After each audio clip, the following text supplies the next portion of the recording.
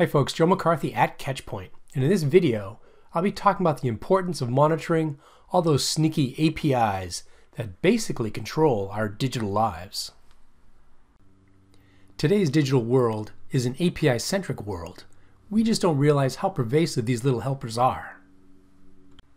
APIs are part of every e-commerce transaction, social media interaction, and provide integrations across the applications we use for both work and play. So when they're not working properly, our lives are impacted greatly.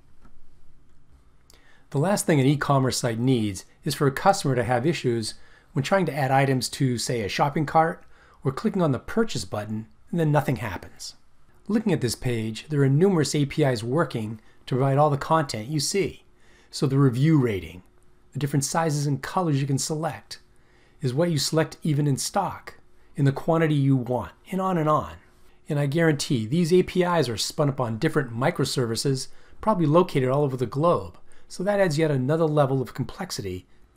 Now, any one of these APIs could fail or have some type of performance issue. So, proactive monitoring of your APIs is critical if you want to ensure your customers are having a good user experience.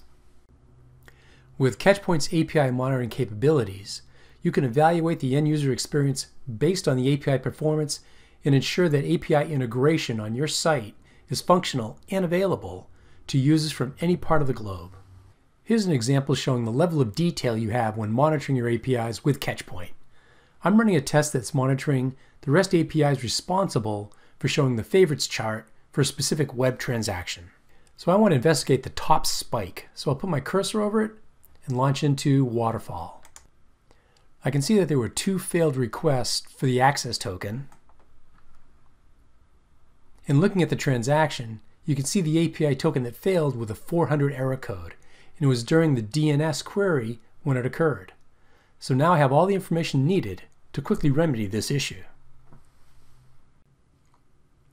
So that was just one example of the numerous ways Catchpoint can proactively monitor all your APIs, so you can stay ahead of any end user experience issues.